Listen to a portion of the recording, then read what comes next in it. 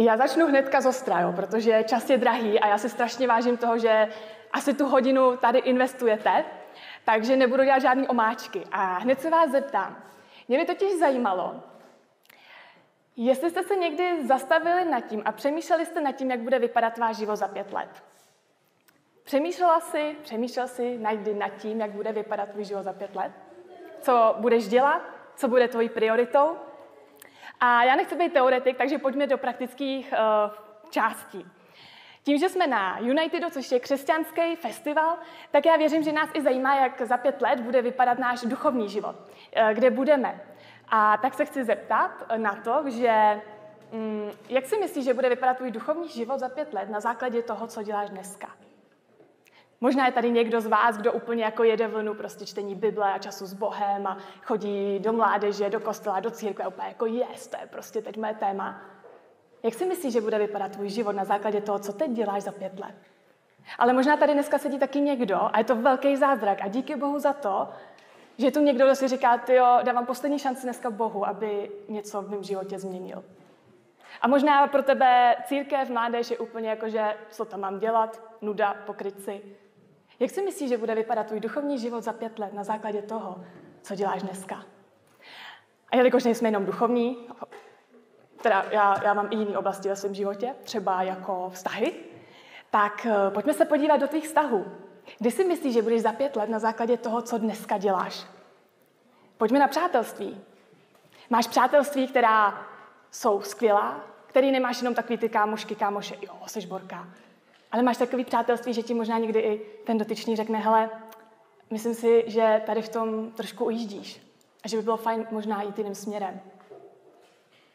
Jak budou vypadat tvoje vztahy, tvoje přátelství za pět let? Podle toho, co v děláš teďka. A nebo teďka, promiňte pánové, já si velice vážím toho, že jste tady, ale uh, budu trošku, jelikož tady je většina žen, ale o to víc jako wow, budu mluvit v ženským rodě, ale tím vás nepovažuji za ženy. Jo. Prosím, odpuste mi to z důvodu času. Já miluji angličtinu z toho důvodu, že tam prostě chápete. Tam řekneš jako you, uh, sloveso a je, je to pro kluka, pro holku. U nás to je jakože byl, byla si, cítíš, cítila si, jo, tak uh, jdeme do ženského rodu, chlapci prominou. Takže teďka předpokládejme, vysidejte dívky, vysidejte chlapce. Třeba máš kluka, holku, jo? A pokud máš, pokud nemáš, je to taky v pohodě, máš tady co dělat, neboj. Ale pokud máš, jak si myslíš, že bude vypadat tvůj vztah s tím klukem za pět let na základě toho, co děláš teď? Je ve vašem vztahu Bůh? Je to něco, kde se sdílíte důvěrně a respektujete boží hranice pro váš vztah? A nebo tvůj vztah je ten, že jste dva s prominutím sobečkové, kteří prostě mají svoje nějaké potřeby a tak si navzájem tak trošku využíváte? Jak bude vypadat tvůj vztah za pět let s tímhle klukem? A my jsme i jako fyzicky, tak nějak jako nás Pán Bůh stvořil. A tak jak budeš vypadat za pět let na základě toho, co děláš dneska? Jakože jasný, Jančo, všichni budeme starší a možná malinko začne mít vrázky. Jo, jako to jo, ale mám dobrou zprávu. I za pět let na to můžeš být líp než dneska. I za pět let na základě toho, co děláš, tak za pět let můžeš se cítit zdravět, mít víc energie a stojí to za to. Kde bude vypadat tvůj život za pět let na základě toho, co dneska děláš? Já z velké části už teď vím, jak tvůj život za pět let bude vypadat. Nejsem vědma, ale jedna důležitá pravda je, že návyky, které máš dneska, tak definují to, kým budeš zítra. Návyky, které děláš dneska, definují to, jak budeš vypadat zítra. A víte, jak to vím? Vzpomeň si, pojď trošku zpátky, pět let předtím, než jsi seděla tady. Co jsi před pěti lety dělala? A já si z velké části myslím, že to, co před pěti lety si dělala, jaký návyky si měla, tak tím člověkem seš dneska. To, co jsi dělala posledních pět let, definuje to, kým seš dneska. Spokojenost, Nespokojenost? Dobrá zpráva je, pokud nejseš úplně spokojená s tou trajektorií tvýho života, kam směřuješ, tak se to dá měnit. Jsi spokojená se svojí trajektorií svých návyků, kam tě, kam tě vedou? Někdo chytrý řekl, že když se narodíte, tak jste podobný svým mamince a tatínkovi. Jo, to je takový to, že prostě jede maminka s kočárkem, ty babičky přijdou, jo, to je celý tatínek, ne, to je celá maminka. Vy koukáte, je to prostě mimino, ale dobře, všichni tam vidí, koho chtějí, nechme to tak. Ale až budete jednoho dne, váš život tady bude končit, tak už nebudete podobný hlavně na maminku nebo na tatínka. Vaše podoba bude definovaná tím, jaký jste měli v životě návyky. Vaše finální cesta, váš konec bude definovaný tím a budete vypadat tak, jak vypadaly vaše návyky. A teď mi někdo může oponovat a úplně to beru a řekne, jasný Jančo, víš, že v životě třeba přicházejí nějaké neko, jakoby nevýdané situace, že třeba můžu uh, cvičit a můžu jít zdravě, ale pak jakože žijeme prostě ve světě, kde se dějou tragédie, že vás razí auto a budete na vozíku. A když jsem předtím běhala prostě maratony, tak prostě pak nemůžu, i když jsem měla zdravý návyk. Jakože budu upřímná, ano, to se může stát. Ale z velké části návyky, který máš dneska, tak budou definovat tvoji budoucnost. A není to souhra náhod, který řeknou, je, za pět let jsem se stala tímhle, jo, aha, dobrý. To, co děláš dneska, definuje to, kým budeš zítra. A my někdy, většinou 1. ledna to nejvíc, jo, to, to v té republice valí, nebo celým světem, takový to, začnu žít nový život, protože chci mít lepší život, takže začnu běhat, nebudu o půlnoci chodit do ledničky, budu se učit, protože chci chodit na vysokou školu. Je, jdeme do toho všichni, celý národ. Tak, víme, jak to dopadá, že jo? 5. ledna, když jdu vždycky do posilky, tak narváno, jdu tam 30. ledna, a už je tam zase prázdno, už je to v pohodě. Takže má to takový docela rychlej, rychlej sled dolů. Důležitý totiž je, Nenech se zmást tím, že když máš jako záměr a cíl a fakt toužíš stát se takovým člověkem, že se to stane. Pokud nemáš zdravý návyky a neděláš pro to věci, tak se to nestane, i když si to budeš psát na vision board a budeš to mít úplně polepený po celém bytě. Nestane se to, pokud ty k tomu něco neuděláš. A já dneska s váma chci mluvit o trendu Dead Girl. Chci se zeptat, kdo z vás jako tuší zhruba, co to je. A pokud netušíš, úplně v pohodě. A jsem ráda, že jsi tady. Že jsi tady i ty.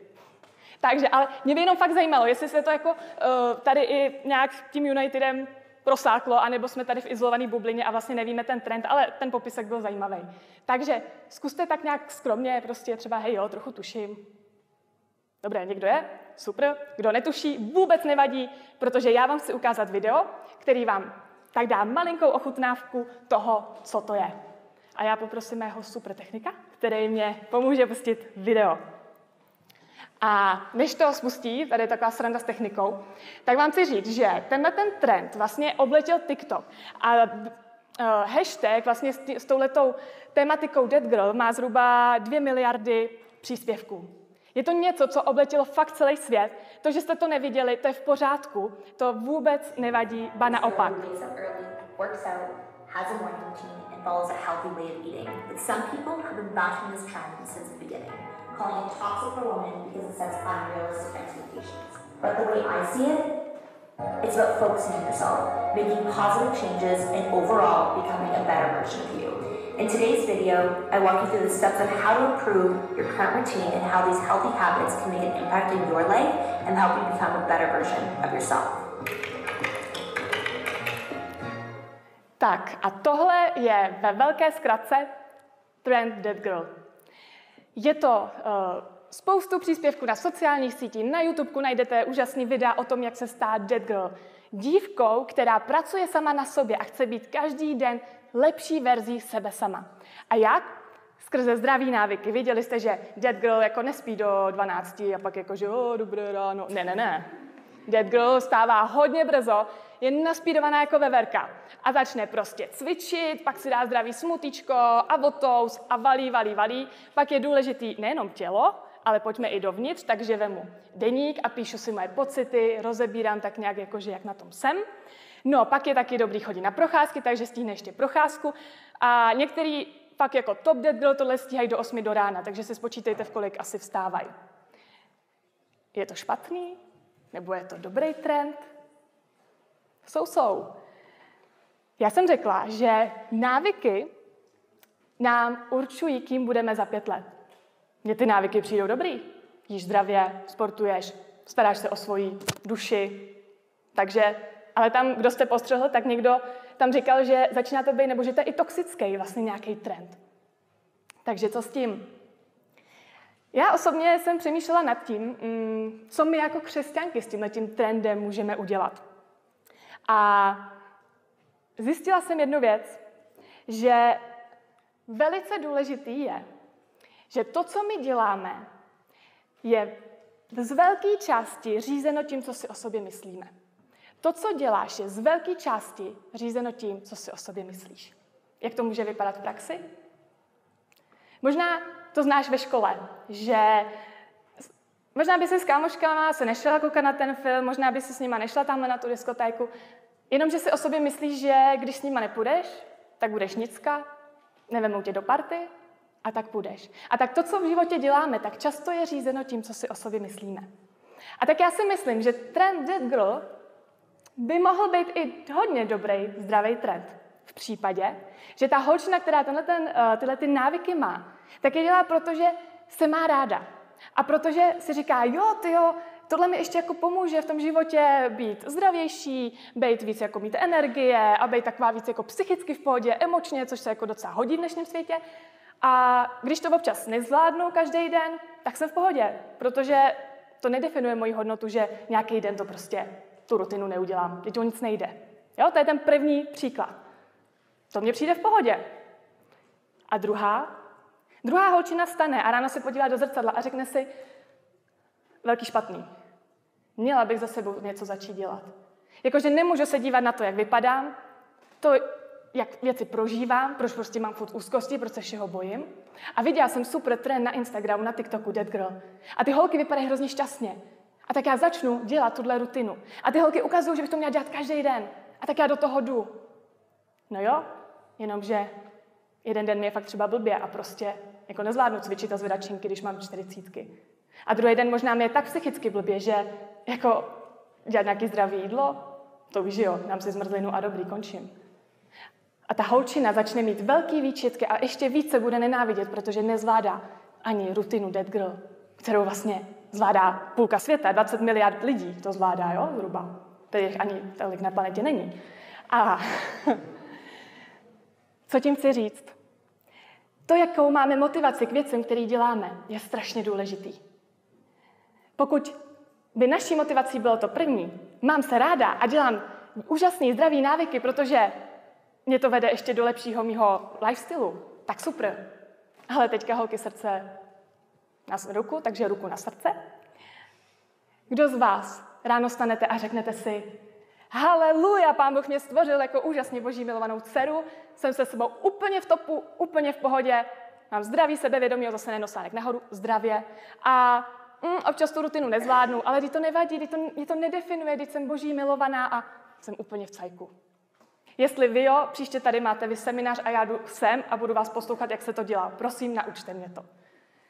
Osobně tak nějak teda v mým, nevím, jestli mám bublinu, ale myslím si, že nemám, že většina z nás, podstatě žádná z nás není to s tímhle v pohodě. Proč? Protože žijeme v hříšném světě a duchovní nepřítel Satan se vždycky bude snažit, aby jsme se neměli rádi a aby jsme se snažili za každou cenu nějakým návykem, tím, co dělám, tu hodnotu si zasloužit.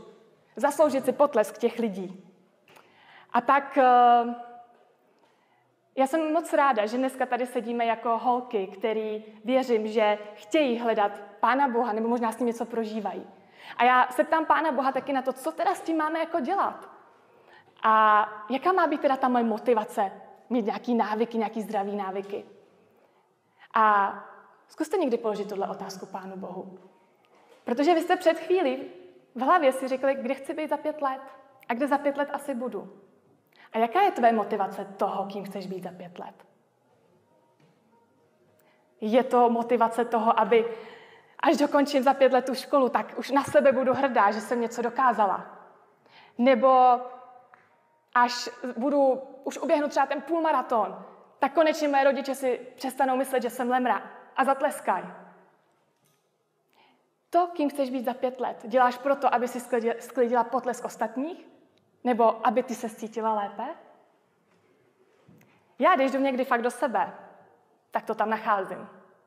A proto je pro mě moc důležitý chodit za Pánem Bohem a ptát se Pana Boha, Pane Bože, jaká má být moje motivace k věcem, který mám dělat?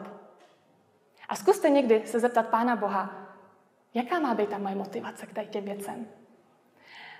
Mně, mým blízkým, kamarádkám, co tak se s nima bavím, tak nám nějak přijde, že pán Bůh nám dává motivaci trošku jinou. Protože on říká, víš, já jsem tě stvořil a nemůžeš udělat nic navíc pro to, abych tě měl víc rád.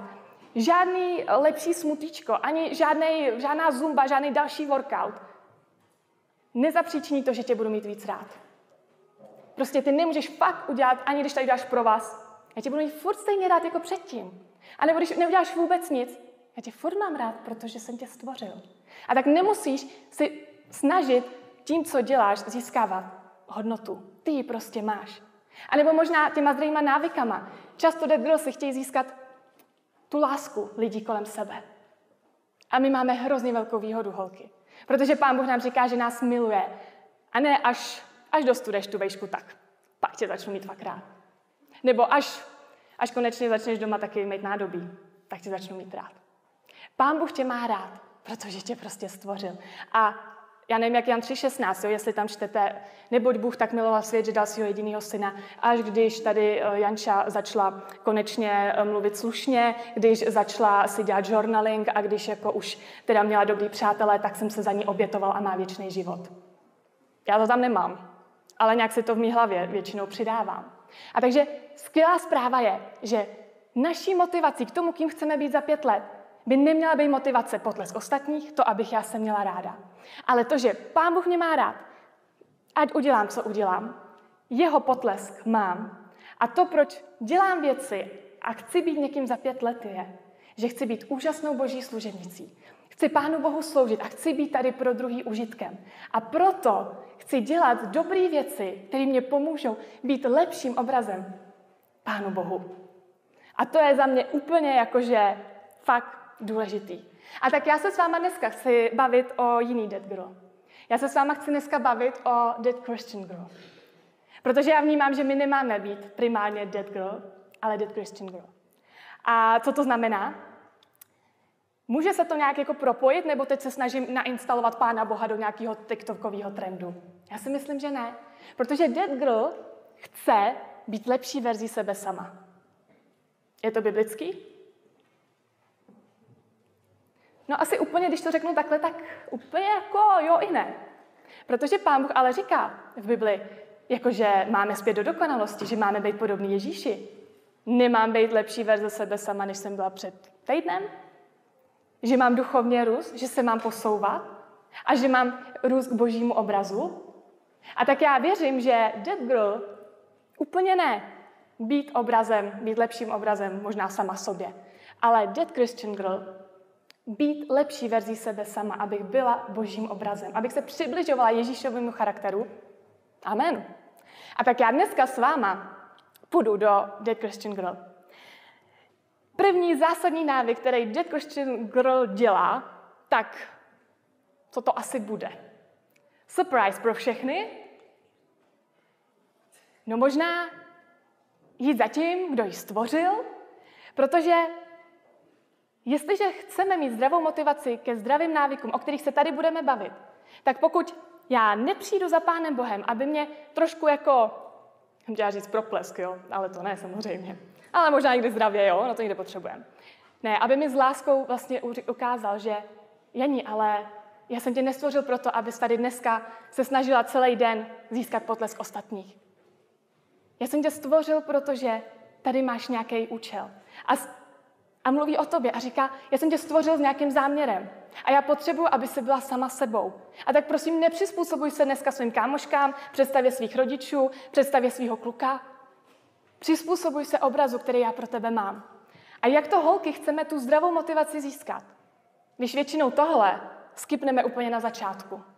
A já jsem úplně bytostně přesvědčená, že kdyby děvčata, které dělají uh, svoji rutinu Dead Girl, začínaly čtením Bible, a časem s Pánem Bohem, tak tady máme tolik krásně zdravých holek, který nepochybují o své hodnotě, který nejsou tažený nějakým výkonem. A máme tady skoro ráj na zemi. Skutečná a trvalá změna není úprava chování, je to duchovní přeměna. Pokud chceme skutečně a trvale něco změnit, tak nemůžeme začít povrchně. Kolikrát jste se už hecli, že začnete jíst zdravěji, budete víc běhat, nebo vůbec začnete běhat, budete číst Bibli, chodit pravidelně do sboru. Měl už někdo takový hec? Zkoušeli jste to někdy? A hm, komu z vás se to fakt povedlo? Všechny ty vaše heci v životě dotáhnout? Mně teda ne. Jako touha byla, ale tam to často skončilo. A víte proč? Protože často my uděláme to, že začneme vnějškem, upravíme vnější chování. To znamená, jo jasně, chci vypadat zdravě, takže začnu prostě jíst zdravě, budu uh, sportovat, chci být duchovnější, začnu chodit na mládež, začnu číst Bibli, začnu si i poslouchat teda kázání na YouTube občas, nebo dám follow nějakému křesťanskému obsahu, teda ať se to trošku jako vyváží. Ale já vám řeknu jednu pravdu. Možná jste na to přišli, možná ještě ne. Ale pokud jenom začnu tímhle, že budu se soustředit na to, co dělám, změnu mého chování, to je jenom vnější přeměna. A ta vám nevydrží. Protože v životě přicházejí do, eh, do života přicházejí překážky. A možná si řekneš, OK, začnu chodit na mládež a budu to tam mít ráda. Jenomže se stane, že tam přijdeš a někdo ti řekne něco, co tě fakt zamrzí a řekneš si, really? Jako tohle slyším od křesťana? Nazdar, končím. A nebo začneš jíst zdravě a pak uh, půjdeš nějaký restauraci, dáš za to hodně peněz a dostaneš něco fakt, že to už je tu máš zdraví a je to fakt nechutný a řekneš si kašlu, mekáči lepší a levnější. V životě přicházejí překážky a testují tvoji motivaci. A jestli tvoje motivace není hluboká a je to jenom přeměna nějaká chování, končíš. Mě to připomíná, a teďka budu trošku um, otevřenější, Některé z nás asi někdy, nebo možná teď, je to tvé téma, trpíš eh, tím, že máš akné, nebo že máš prostě eh, na obličeji um, nějaký kožní problémy. Uh, vím, jaký to je. Prožila jsem to a um, stalo se to docela náhle, já jsem neměla nikdy jaký extra problém s pletí. A pak se stalo to, že jsem měla velký problém s pletí. Uh, tady je to moc fajn, že um, vlastně to není moc vidět, jo, protože to není takový rozlišení. Ale to, co vám chci říct, mně se uh, na obliči udělá taková prostě uh, krupička, jakože bych to mohla nazvat fakt jako šmirgl papír, jako dobrý. A mě to strašně moc vzalo moji hodnotu. Říkala jsem si, týden, dva to vydržím, to se nějak podá, jenomže tenhle problém trval asi přes rok a půl. A tím, jak jsem asi na to nebyla zvyklá, nebo nevím, jak to prožívají holky třeba, který s tím nějakým způsobem bojují celý život, já jsem se začala stahovat sama do sebe a já jsem začala mít problém chodit mezi lidi a působit mezi nima. Proč? Změnilo se něco tady, změnilo se něco povrchně. A tak nejlepší rada holky je, pokud s tím trpíte, tak eh, doporučuji v lékárně nějaký kortikoidy, tunu make-upu a bude všechno v cajku a budete se cítit na ten den úplně skvěle. A skoro nikdo nic nepozná. Mat, máte jednu chybu. Většinou, když tohle to začneme aplikovat, tak nenápadně se ta pleť zhoršuje, protože tohle jí rozhodně nepomáhá. A je to fakt skutečná přeměna? Fakt se to vyřešilo? Víceméně se to ještě zhoršilo. A tak i moje cesta byla, že z začátku tohle řešení, a nebo pak je úžasný, když máte Photoshop a uh, můj kamarád mě, mě fotil a um, pak mi poslal tyhle fotky a já úplně u toho monitoru, jejda, jakože možná si řeknete, no nevím, co na tom tak hezký, jo, dobré, neberte to v potaz, ale pro mě v tu chvíli to bylo jakože, wow, takhle chci vypadat.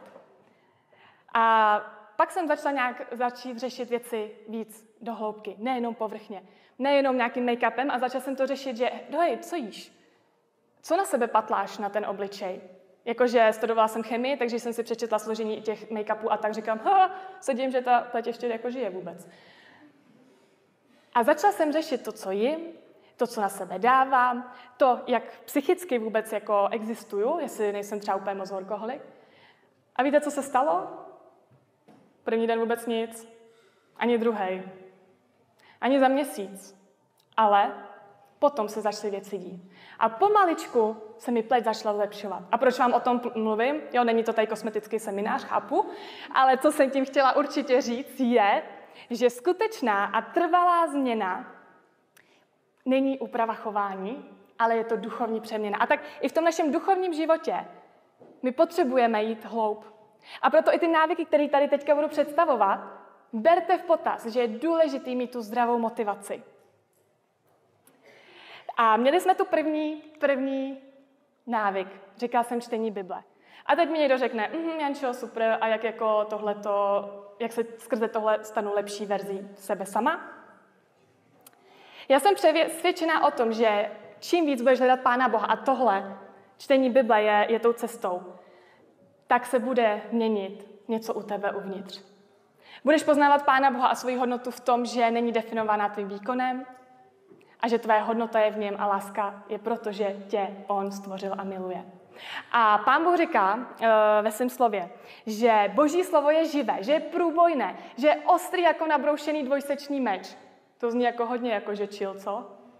To prostě má jako power, to prostě jede, takže to znamená, že když čteš boží slovo, setkáváš se s ním, je mocný, je průbojný, to znamená, v tvém životě to fakt dělá divy. Jakože fakt. Proniká naši osobnost a ducha, naše pohnutky a okolnosti. To znamená, to je přesně to a pán Bůh se tě ptá, proč děláš ty věci, které děláš? Proč si čteš Bibli mimochodem? No, protože chci zamachrovat na mládeži, že umím další veršík z paměti. Hm, tak jo. Myslel jsem, že tam budeš mít něco lepšího. Jestli chci ve svém životě mít trvalý změny, je potřeba začít od úplného základu. A tak uh, pojďme dál, protože Dead Girl mají taky ve své rutině pravidelné cvičení, prostě dobrý workout, ten jede. Já jsem tady mluvila teďka o té motivaci, že je důležitý najít svoji motivaci. A teď možná, když jsem ukázala tenhle slide, tak někdo z vás jako yes a někdo do pytla. Tak to je. A teď si říkáte, ale jako počkej, to je dead girl. Co dead Christian girl? Jako kde se o tom Bibli píše? Ukaž mi to. Ukážu. Každopádně, Pán Bůh mě v té motivaci něco naučil. A přátelé, skrze sport. Já úplně miluju Pána Boha v tom, že on si najde k vám fakt cestu úplně přes cokoliv. Eh, já cvičím zhruba nějak od svých 18 let, pravidelně nějaký workouty a prostě různé věci, to je jedno, ale cvičím. A víte, jaká byla moje motivace do těch 18? No vždycky přece být božímu obrazu a prostě myslím si, že pán Bůh taky neměl špeky, že jo? Nebo Ježíš. To byl tesař. Makal. No, asi těžko a neško. Takže moje motivace v 18 letech byla, no cvič, protože že jo, pak budeš vypadat jakože líp 90, 60, 90 skoro. A kluci si tě všimnou, protože všude to tak jako, že jo, se tváří, že když prostě máš ty křivky, tak kluci tě budou milovat. A pak jsem zjistila ještě jednu výhodu jsem vždycky říkala, s holkama jsme se bavili, říkám, jo, holky, já prostě jako cvičím, no, a oni, jo, jako fakt pravidelně, jo, jo, no, doma, jako, že mám činky, a tak, cože, to se hustá, jestli jako doma jako donutíš. A já úplně, jako, že to je normální, ne? Já nemám jako moc problém s těmi vědomostí, mám jiný problémy. A, a teď oni mě jako obdivovali. A říkám, ty dobrý, tak asi něco umím. Tak mě takovou udělalo radost, že, že jako obdivy těch holek našich, jakože, kam, aha, tak jo, tak jsem asi docela dobrá. Takže přátelé, tohle jsou moje motivace v 18 letech a myslím si, že docela přetrvávaly dlouho. A chtěla bych říct, až se vdáte, jestli se vdáte, nebo až když já jsem se vdala, že moje motivace už byla úplně jiná, nebyla. Jenom se změnilo, že už jsem se nechtěla líbit klukům, ale svýmu manželovi, což je dobře, že jo. Jakože je, ale. Stalo se to, že život vám prostě přináší různé věci a mě přineslo do života docela velké těžkosti v naší rodině, a já jsem díky stresu stousla asi 12-13 kg, velmi rychle. A většina holek z nás asi je na tohle citlivá, nebo mě, mě se to docela jako dotklo v tom, že najednou si říkáte, to se to jako nelíbí. A víte, co bylo ještě horší? Nejhorší je, když cvičíte a přesto tloustnete. To je fakt horší, než když necvičíte a tloustnete. Když prostě cvičíš a děláš všechno úplně stejně, dáš jako já nevím, pět, sedm let. A najednou prostě jenom koukáš a prostě rosteš, rosteš a rosteš. A já jsem si tak jednou šla na ten workout doma a říkám si, jako proč? Jakože splňuje to moji motivaci vypadat dobře, líbit se lidem, líbit se jako kluku, manželovi. Jako nesplňuje, že jo? A můžu vám říct, že nejedna za mě ukápla, protože prostě je to, je to těžké, když něco děláte a nevidíte výsledek. Naopak vidíte ještě něco, co ten výsledek spíš jako dává dolů. Ale já jsem zažila v tomhle velkou lekci od Pána Boha, protože přesně ke mně přišel a říká, proč to Jančo děláš? A já jsem si uvědomila, že, že cvičím proto, abych vypadala před ostatníma nějak. A pak jsem viděla tenhle verš, kde v Bibli se píše, že máme mít na paměti, že tvoje tělo je chrámem svatého ducha, který v něm bydlí, a kterého ti dal Bůh. Nepatříš už sama sobě, byla jsi koupena a velmi draze koupena. A tedy, ať tvoje tělo dělá Bohu čest. Přátelé, naše tělo je chrámem Ducha Svatého. To, jak pečuju o svoje tělo, umožňuje i to, jakým způsobem Pán Bůh skrze nás působí. A teď nechci prosím vás říct, že kdo z vás prostě teďka nezačne chodit každý den do posilky na workouty, tak Pán Bůh prostě u vás nebude mluvit. Vůbec ne. Chci ale říct, a o čem se tu budeme bavit, že jsou věci, které Pán Bůh nám doporučuje proto, aby jsme mohli být ještě možná více otevřený jeho působení Ducha Svatého. Proč? Proč si myslím, že sport tomu pomáhá? Protože už v dnešní době, a já miluju to, jak věda propojuje a zjišťuje po x stovkách let, co pán Bůh věděl už dávno, když nás stvořil, nečekaně, tak věda říká, že když cvičíš, tak se ti uvolňují v mozku hormony, které se jmenují endorfiny. A tvůj pohled na život začíná být mnohem víc optimističtější. A možná úzkosti a to, co prožíváš v sobě, a když ležíš na gauči a jíš něco jakože mega nezdravýho, tak ti to fakt nepomáhá. Ale když začneš sportovat, tak v mozku se dějí úžasné věci, které ti pomáhají vidět svět optimističtějc. A je to náhoda? Já věřím tomu, jestli Pán Bůh stvořil naše tělo, On věděl, proč taky potřebujeme se hýbat v tom životě. A možná proto Ježíš dělal tesaře, aby byl v pohodě. Takže ráda bych potrhla tady tu větu, jo? Ať tedy i tvoje tělo, tělo, to není jako, že jenom duše, ale tělo dělá Bohu čest. Dělá tvoje tělo Bohu čest? To, co v životě děláš pro své tělo, dělá to Bohu čest? A red flag, velký vykřičník. Nechci, abyste odcházeli s tím, že vám tady se snažím říct, že pokud nebudete mít míry 90, 60, 90, nebudete každý den trávit posilovně a nebudete posedlí tím, že budete prostě na sobě makat, tak pak nejste dead Christian girl. To vůbec neříkám. Já říkám to, že zamysli se, jestli to, co v životě děláš se svým tělem, jestli to dělá Bohu čest. A jestli skrze to má možná ještě větší otevřenou bránu v tobě působit. A modli se za to, ať ti ukazuje, jaká je pro tebe ta správná cesta, protože každá z nás jsme trošku jiná a každou z nás i baví třeba trošku jiný sport. Takže tolik k sportu. A na druhou stranu, možná si říkáš, jo, ale já jako když jdu do poslovny, tak já mám jako pak radost, že mi třeba rostou svaly, nebo že jsem se trošku vyrýsovala. Tak to je jako hřích? Já si myslím, že ne. Že to je jenom vedlejší produkt toho, že na sobě makáme a máme radost. A já si myslím, že Pán Bůh má taky radost toho, že z toho máme radost. Ale jaká je tvoje motivace, proč to děláš? Jestli už tvoje motivace je takový to, jako že přijdu ty posilky, uh, kámo, dobrý, co? Jsme pro kolky trochu. Já nevím, jestli tohle dělá primárně Bohu čest. Ale pokud třeba pak ty svaly jako použiju a pomůžu nějaký slečně přinést velký těžký kufr na nádraží, haleluja, myslím, že to pánu udělá velkou čest. Takže domysleme si každý, co tady nebylo vyřčeno. Správná dead girl taky řeší výživnou stravu. To znamená, že si do toho staneme později, protože tenhle slide tady musí zaznít. Chtěla jsem vám ukázat fotku mojí, když cvičím. Taková ta představa, jak si myslím, že vypadám, když cvičím a jak, opravdu, jak to opravdu vypadá. Nečekaně já se nějak u toho nefotím, nevím proč, jakože asi z toho důvodu, že právě vypadám jako ta panda.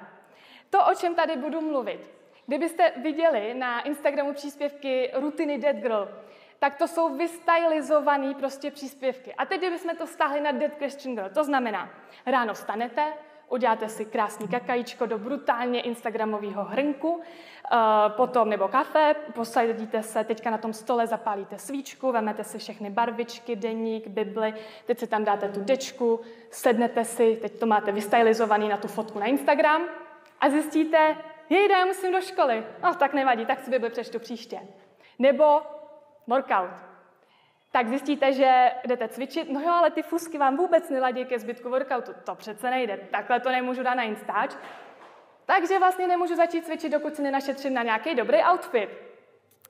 Já vám chci říct, že je úplně normální přijít, vzít Bibli, mít kolem sebe prostě i ten nepořádek. A za mě je důležitější otevřít tu Bibli, než si předtím uklidit celý pokoj, aby jako všechno bylo v cajku a pak tu Bibli neotevřít. A nebo sportovat, i když ti fusky neladí, jako kdybyste někdy viděli, v čem já cvičím doma, a říkám, jo, doma, to už je fakt někdy too much, vytáhaný triko a tak. A ponožky mi rozhodně zase nikdy tak neladí. Není podstatný, jak u toho vypadáme, ale co děláme. A tak ani zase nechci, aby teďka, nevím, jestli máte Instagram, TikTok, kdo z vás máte, tak nechci, abyste si odnesli to, že budete mít hashtag Dead Christian Girl a budete tam teďka házet ty příspěvky vystylizovaný toho, jak správně vypadá prostě Dead Christian Girl se svojí rutinou a všechno vyladěný. Přátelé, žijem v reálném světě a vaše rutiny rozhodně nemusí vypadat jako z Instagramového světa. Ale teď pojďme výživný stravě. Dead Girl začíná brutálně dobrou zdravou snídaní a jede si na vlně celý den zdravého jídla. Co na to pán Bůh? Co na to Dead Christian Girl? Přátelé, je to tam. Všechno, co děláme, ať už jde o jídlo nebo pití, či cokoliv jiného, všechno má sloužit k boží oslavě. Všechno, co děláme, jídlo i pití, ať slouží k boží oslavě. Pán Bůh stvořil výživný potraviny, dává nám ho jako palivo. Je to, co ty jíš a co piješ, k boží slávě? Je to něco, co oslavuje Pána Boha? Je to něco, co pomáhá tvýmu tělu lépe fungovat? Výjimku máte u návštěvu u babičky. Jo? Když dostanete prostě tři knedle zelí a kačenu, tak nedávejte babičce přednášku o Dead Christian Girl. Já se osobně řídím pravidlem zhruba 80-20, to znamená 80% času nebo jako jídla se snažím, aby bylo výživný. Aby moje tělo potom se neválo tři hodiny na gauči a umírám, ale aby naopak ho to nabustovalo a měla jsem energii, ale jako nedat si tady nějakou dobrou zmrzku, nějaký dezertík. Tak co to je za život? Pán Bůh stvořil i takovéhle věci a máme jíst i věci, které třeba úplně nám neprospívají, ale udělají nám uh, lahodu jinou.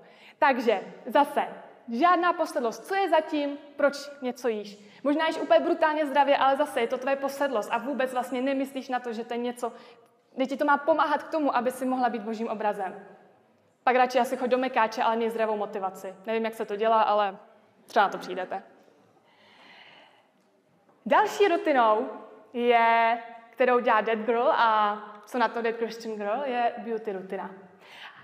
A teď se pouštím docela na úzký let, protože když jdeme do božího slova, tak tam máme fakt dost textu o boží, o tom, co pán Bůh říká o kráse. A asi teďka byste mi řekli, že dám spoustu textu o tom, že eh, krása ženy vychází z toho, co má v srdci.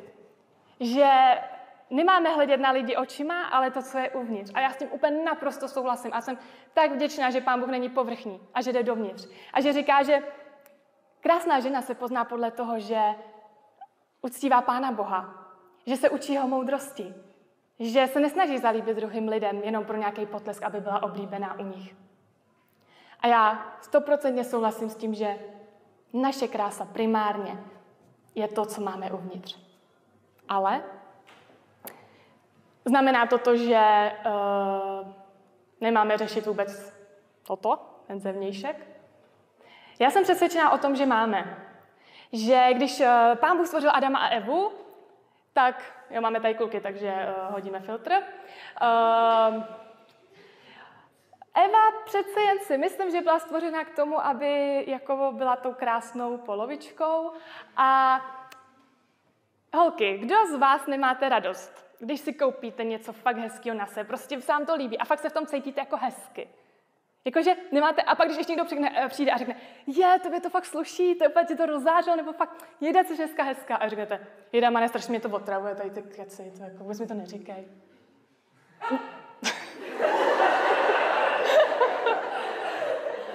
jako, uh, já upřímně, mě to udělá radost. A, a já mám radost, když se cítím jako hezky, jo? A já si říkám, a je to špatně? Já tak nějak jak, jako poznávám Pána Boha, tak mám pocit, že On do nás fakt vložil tu touhu, aby jsme se líbili. Aby jsme byli krásné. Žel, tenhle svět, to zase pokřivil, že jo. Teď nemusím rozvíjet dál asi kult krásy, jo, a teďka tady ty všechny věci. A my to máme zase zdeformované, že primárně jde o to, jak vypadáme, ne to, co máme uvnitř. Ale co teda jako my jako Dead Christian, kdo máme dělat s tou krásou, s tou beauty rutinou? Já jsem strašně ráda, že v Bibli máme jeden text. A ten říká, že také křesťanské ženy, ať se oblékají slušně a zdobí se prostě a střízlivě. Pozornost ať budí svojí laskavostí a ne účesem, drahými šaty nebo šperky. Čtete tam, jo, takový to. Také křesťanské ženy, ať nosí uh, jenom pytel a hlavně ať nikde nevylejzají a nejsou viděny. Často v našich eh, křesťanských kruzích, a já to vůbec nechci zesměšňovat, a um, mám úctu k lidem, kteří vnímají, že třeba opravdu ženy by měly být um, takový jakoby neviditelný myšky, jo, třeba fakt uh, nosit dlouhé sukně, nemít třeba naušnice, nemalovat se. Naprosto respektuju jakoby jejich postoj. Ale já když tady čtu jakoby to, co píše Pavel uh, do jednoho zboru, tak on tam říká, že ty ženy se mají oblékat slušně a zdobit se prostě a střízlivě. Mě jako z toho vyplývá, že asi on reaguje na to, že možná ty ženy už to jako přeháněly, jo, a že moc řešili, jako, že co mají jenom na sobě. A tak jim říká, hele holky, trošku uberme, jo? Ať, ať je to jako ve slušnosti, ať, ať tím chválíte Pána Boha. Ať je to něco, co když jdete, tak uh, když vedle vás na mládeži sedí klub, tak aby se mohl třeba soustředit na to kázání a jenom ne to, uh, ty, jo? To už není moc boží slavy, moc nepomáháte k tomu, aby se soustředili na ducha svatého, když úplně, uh. Chápem. Slušně se oblíkat v boží slávě já vnímám to, abych druhý lidi neodváděla myšlenkama k nějakým tělesným, sexuálním, primárně touhám. A pak tam je, že se zdobí prostě a střízlivě. Tam není jako, že a ať se nezdobí vůbec, ať to ani nenapadne. Já tam čtu, zdobí se prostě a střízlivě. To znamená zase asi nějaká míra. A mě v životě hodně pomáhá teď jako jak ten balans, jo? Takže eh, teďka ten seznam je holky, řasenka je ještě v pohodě. Linka na oči, špatný, rtěnka neexistuje a vlasy jedině co pánky, víc už prosím vás tam nevymýšlejte, jo? Dobrý. Asi ne, že jo? Nebo já doufám, že ne. Já vám tady nedám návod, co znamená se oblíkat slušně a prostě a střízlivě. Ale já zase věřím tomu, že Pán Bůh opravdu mluví do našeho života i v tady těch oblastech. A když budeš přemýšlet nad tím, možná když ráno vyjdeš z baráku a budeš u toho zrcadla, řekneš si, je tohle dneska k boží slávě? Vnímám, že tímhle nějakým způsobem dělám dobrou reklamu Pánu Bohu. Já věřím, že Duch Svatý ti bude pomáhat nějakým způsobem to určit. A pro mě je vždycky takový red flag, velký vykřičník, kdy si říkám, Jančo, tak dobré, kolik jsi dneska strávila pečováním o svůj vzhled? Ale teďka bereme, jo, jako že holky my bereme jako je mytí vlasu, jo, a ne jako jenom takový to na patláníčko, nějaký už úplně ten finish občasný navíc. Úplně ten začátek, jo, čištění zubů a tak. Kolik času tady trávím? A Jančo, kolik času trávíš péči o svoji duši? A když se mi to začne takhle jako rozvojovat a zjistím, že ta fyzická péče je mnohem větší, tak já mám velký vykřičný a říkám, aha, tak tady už já vnímám, že ne. Takže možná tohle může být pro tebe nějaký vodítko.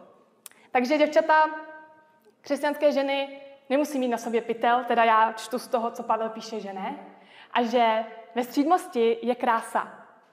Ale víte, co byl první návyk? Být s Bohem a trávit čas s ním. A pán Bůh vám nedá make-up rutinu, ale on vám dá tu vnitřní důležitou krásu, na který stavíme. A tady to další je krásný doplnění. Tak a Dead Girl správně chodí na procházky a já tam mám modlitbu a teď co řeknete, chyba v prezentaci. Ne, ne.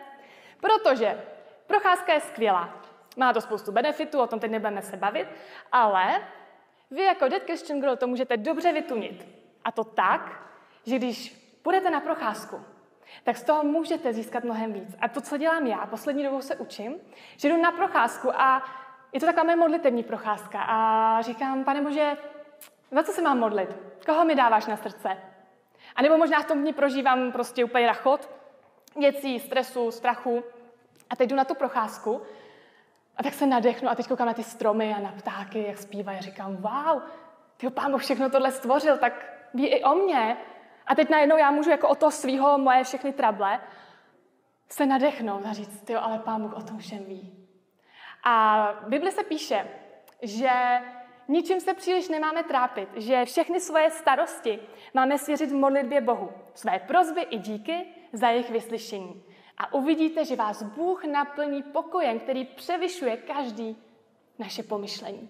A to je ono. Je úžasný, že my jako The Christian Girl můžeme jít na procházku a můžete právě ten čas, když jdete do školy nebo do práce nebo se psem, využít k tomu, že hej, pane Bože, jsem tady. Odezdávám ti své strachy, své úzkosti. A fakt vám můžu říct, že to je skvělý restart na, na den. Takže skvělá další rutina Dead Christian Girl může být tato.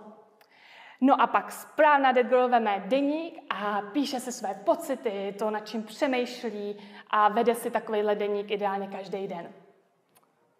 A já si myslím, že to není úplně špatný přemýšlet o tom, co prožíváme. Protože i skrze to, co prožíváme, Pán Bůh nám může mluvit. Ale my to zase můžeme dát o level výš. A jak?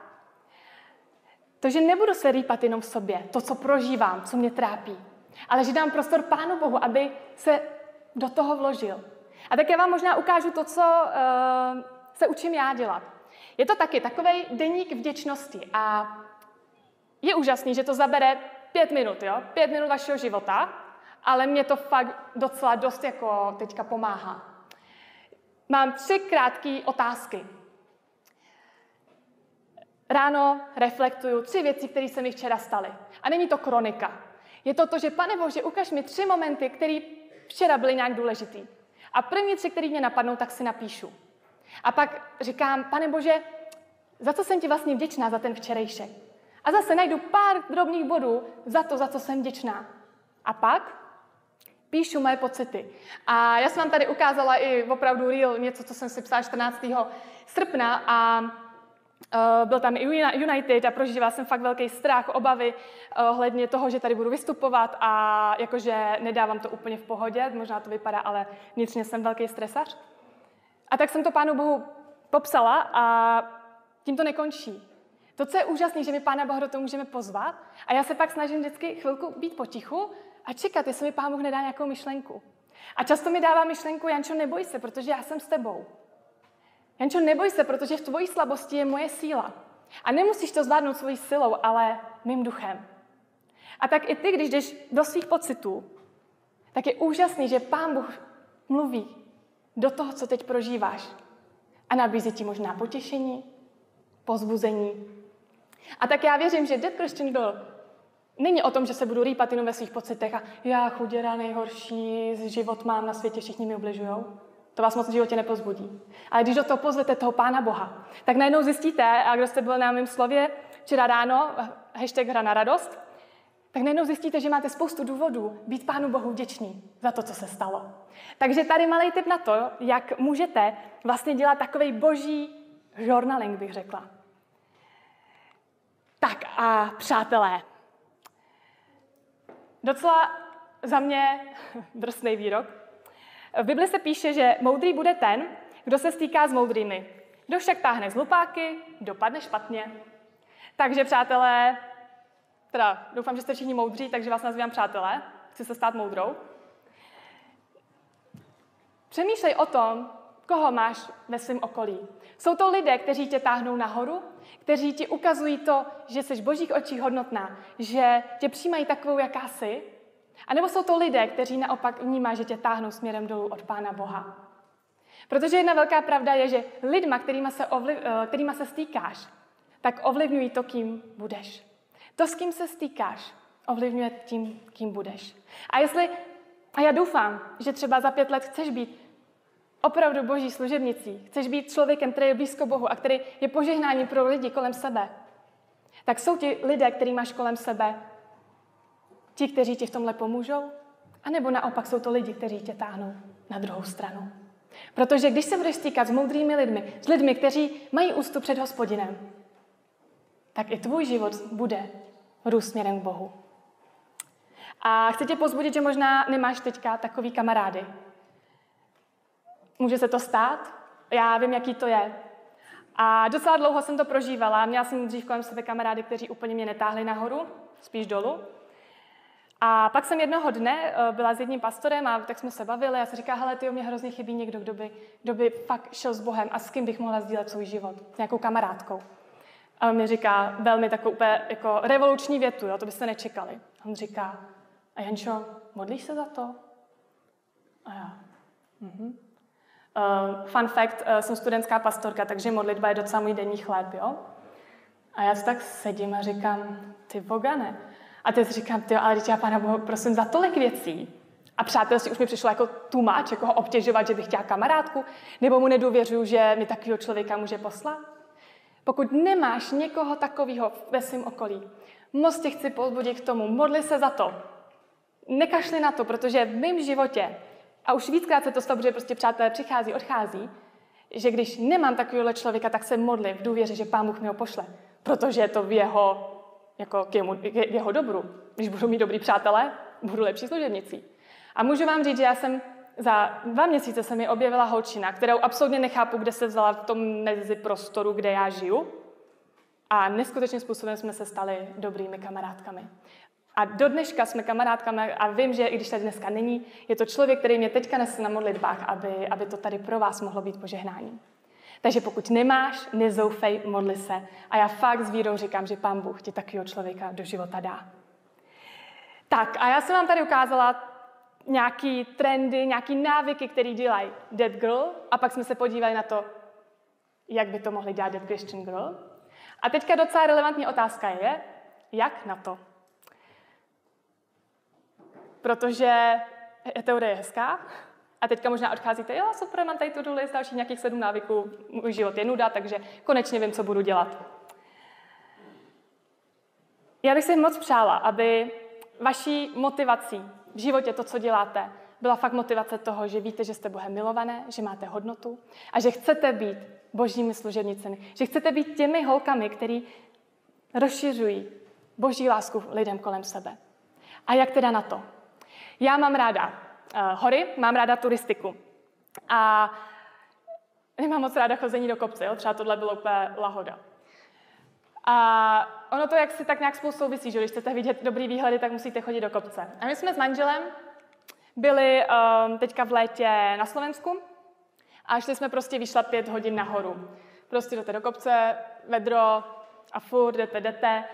Bolí vás nohy, strašná zábava. Do toho, uh, aby to nebylo málo, tak já se bojím výšek. Takže když pak už jdete takovou tu finish, tohle ještě je dobrý, ale to, ten finish už je fakt takový, že se kouknete kolem sebe a je mě zlé, pustím se a padám dolů. Ale prostě já chci jít nahoru, protože já prostě nahoře nejvíc vnímám fakt boží majestátnost a přítomnost a prostě miluju to.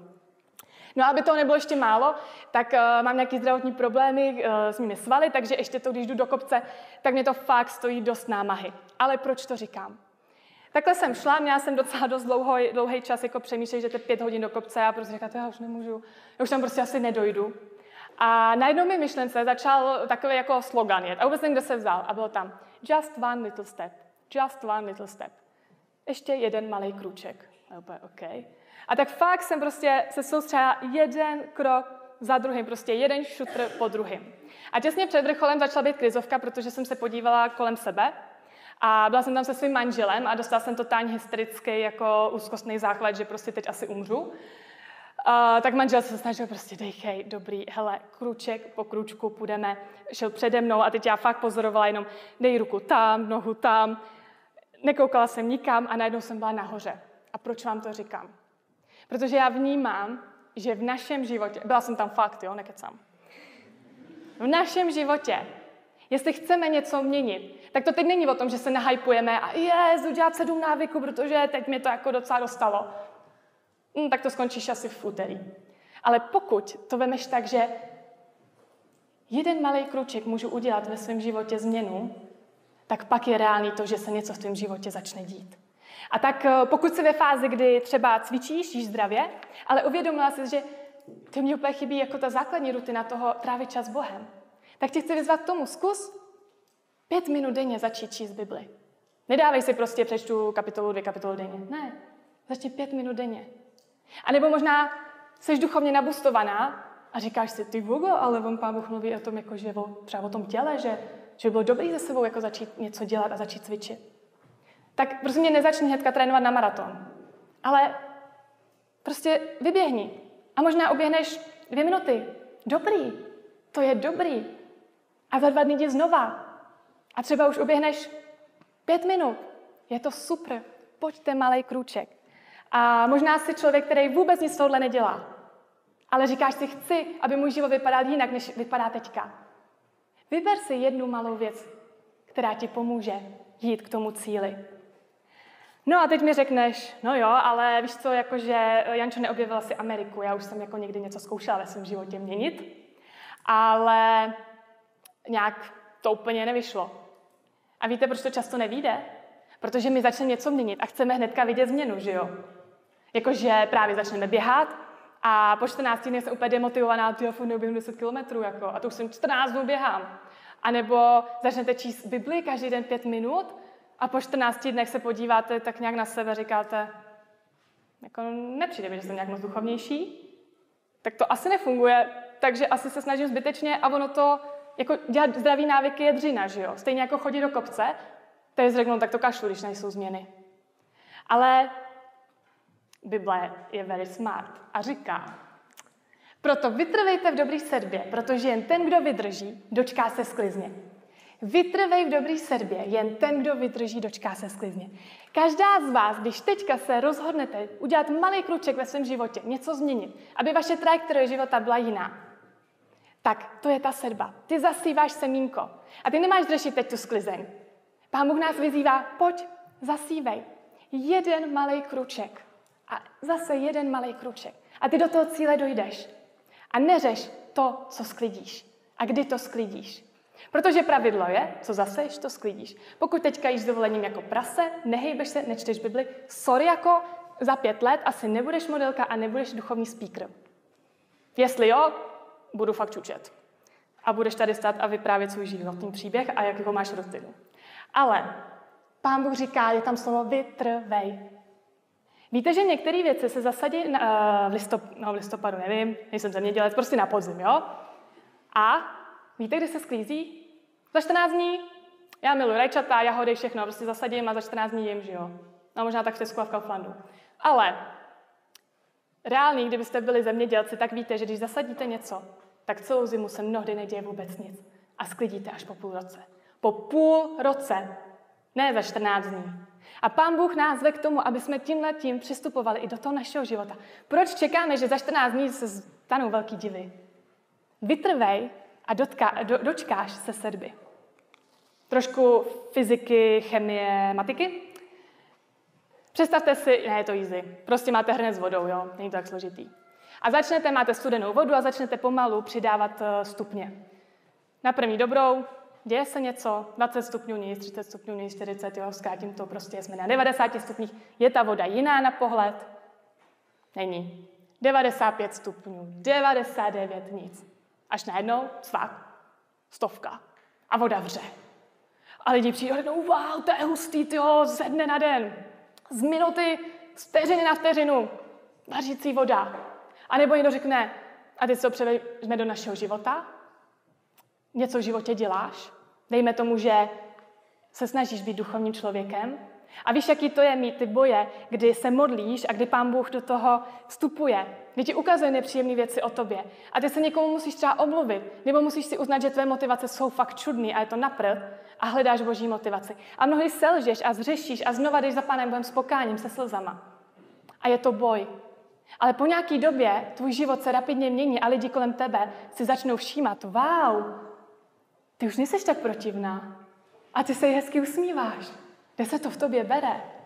A přijdou tací, kteří řeknou, to je úžasný, změna ze dne na den, bezva.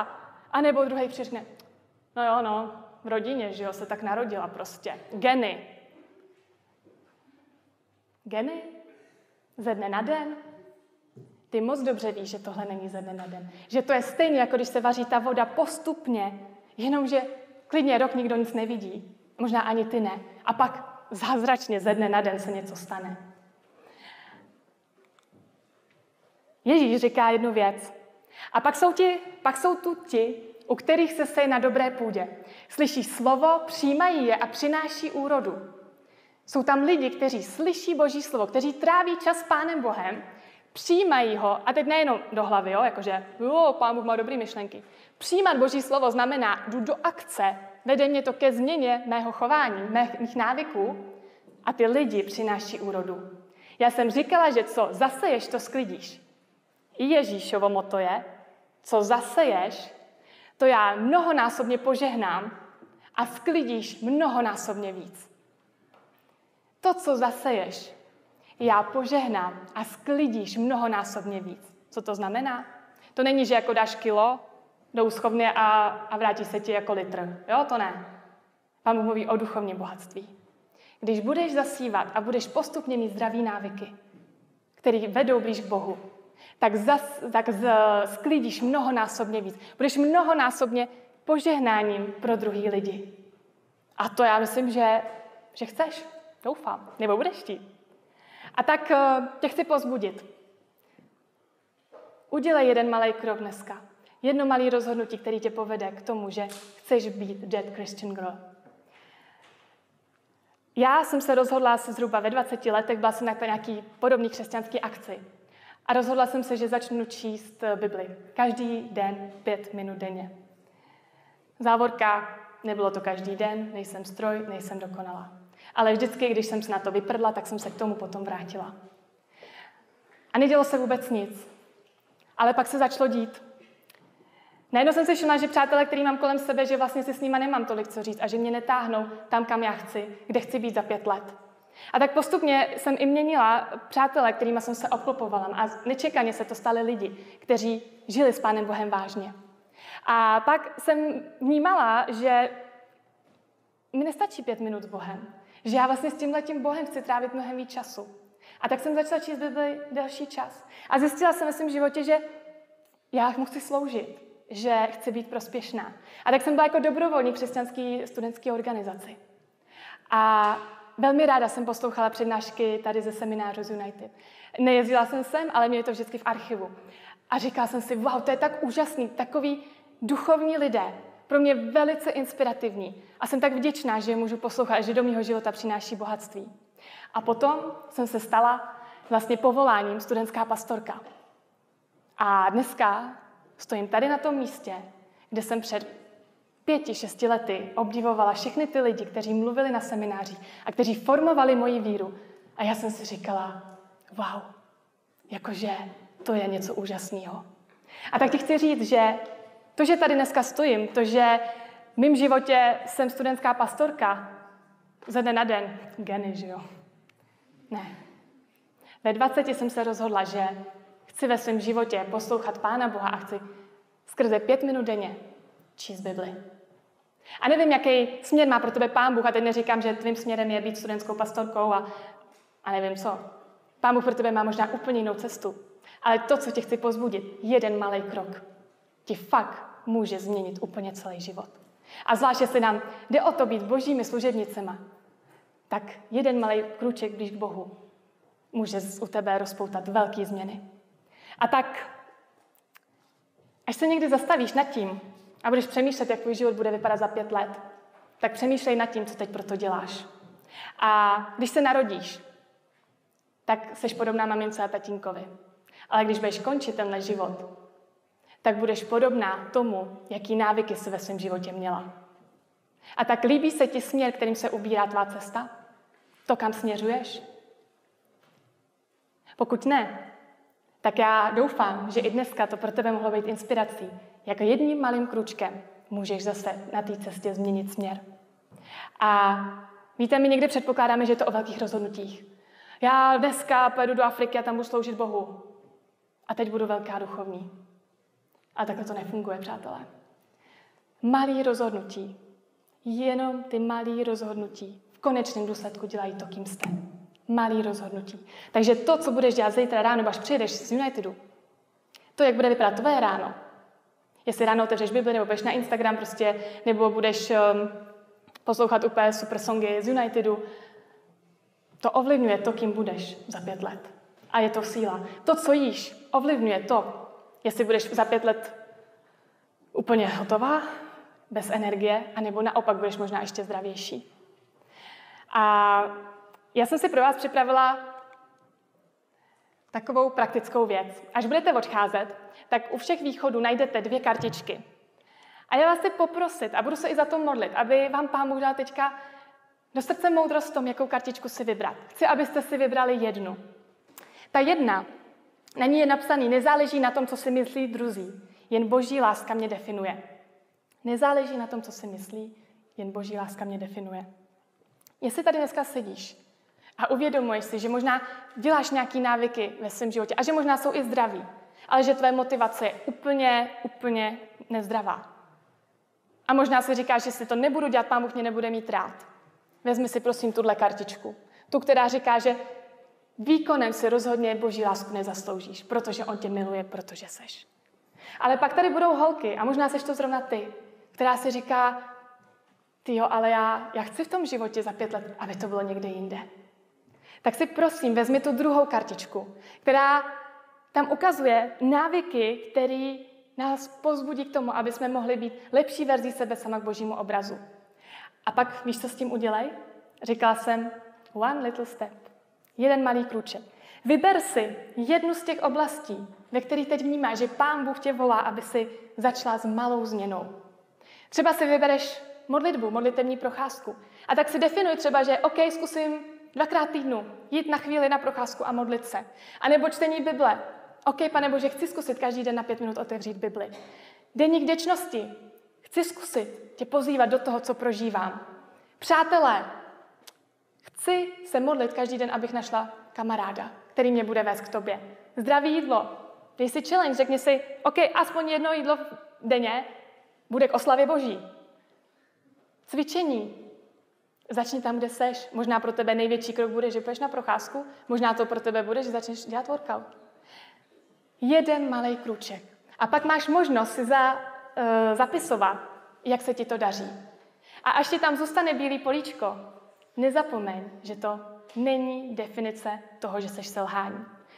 To, že se nám to občas nepodaří, je normální. A pán Bůh s tím počítá. Ale s tím, s tím nepočítá. A co nechce, aby si to vzdala. Protože pán Bůh říká, že my jako křesťané mnohdy spadneme, ale z jeho silou vždycky povstaneme. Takže pokud nějakou rutinu prostě nedáš, nějaký dny to nepůjde, OK, ale začni znova. A pokud je to téma nějakým způsobem zaujalo a rezonuje v tobě, tak mám tady potom i nějaký další zdroje, na který se můžeš podívat, který eh, o této tématice mluví. A pokud potřebuješ i s někým se za to modlit, nebo chceš eh, sdílet um, svůj nějaký životní příběh, nebo další věci ohledně tohoto tématu, tak v poradenství jsou lidé, kteří tam pro vás jsou a čekají na vás a můžete za nima přijít. A nevím, jestli i dneska tady máme nějaký poradce i tady v sále. Pokud ano, tak jestli můžu poprosit se postavit, aby bylo viděno. Tamhle, tamhle máme jednu poradkyni, takže přímo, kdybyste někdo chtěl, tak je možnost za ní zajít. A já bych byla moc ráda, kdyby jsme i teď na závěr ještě mohli sklonit svoje hlavy eh, k modlitbě. Pane Bože, já ti chci moc poděkovat za každýho, kdo sem dneska přišel. Děkuji ti za to, že každýho si stvořil ke svýmu obrazu. A ty taky víš, že žít v tomhle světě není úplně jednoduchý. Že se na nás valí různý ideály, jak máme vypadat, co máme dělat a že taky prostě toužíme se zalíbit druhým lidem.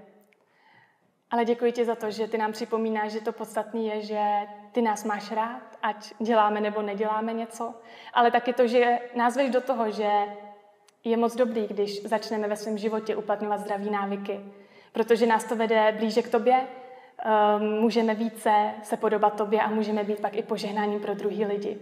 A tak ti děkuji taky za to, že nás veš, zveš k vytrvalosti. Že to není změna ze dne na den, že to jsou malé kručky, ale že ty jsi s náma v nich.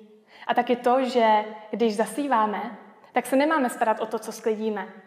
Ale ty nám slibuješ, že to požehnáš a že to naše úsilí mnohonásobně zúročíš. A že pak budeme úplně v šoku koukat a říkat, wow, pane Bože, díky ti za to, že mě používáš ve svém díle, kde mě chceš mít. A tak tě i teď prosím, aby si každému, kdo tady je, dal i moudrost. Jakou kartičku si potřebuje vzít? Co je ta message, která je pro něho a která mu může připomenout, až přijede domů, to, o čem jsme se tady bavili a že to je ta message, kterou máš teďka pro něho. Amen. Tak vám moc krát děkuji za spolupráci a přeju vám boží vedení a jeden malý kruček do dalších dní.